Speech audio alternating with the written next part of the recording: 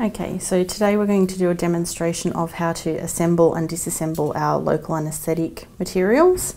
So we have our forceps, our local anaesthetic syringe, our actual local anaesthetic carpule and our needle. Um, before we start we need to make sure that we have the correct type of anaesthetic that we want to use and we also need to make sure that we check the use by date and also need to check that we have the right needle, whether it be long or short. So we take our syringe, sort of pull back the ring and open the back of the syringe. That's where we're going to place our cartridge in like so. We're going to close that up and we're going to screw it in tight until we feel that the back of that syringe is engaged with the rubber stopper there. We can then apply our needle. So just remove the back of that needle like so.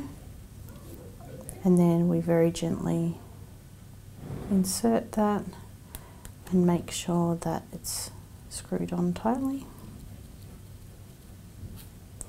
And there we go. There is our local anaesthetic solution ready to administer to a patient. Now when we go to use it with our patient, we need to use our forceps to remove the lid. Uh, we never use our fingers to remove the lid. So very carefully we place the forceps over, give it a little jiggle, and that will remove it ready for us to use the local anaesthetic on our patient.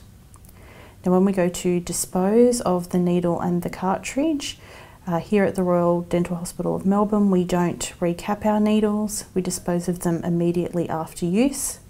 So we place it very carefully over the sharps container and use our forceps to unscrew the needle like so.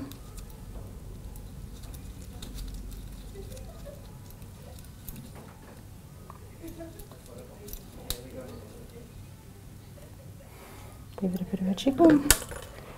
And then we dispose of our cartridge straight away as well like so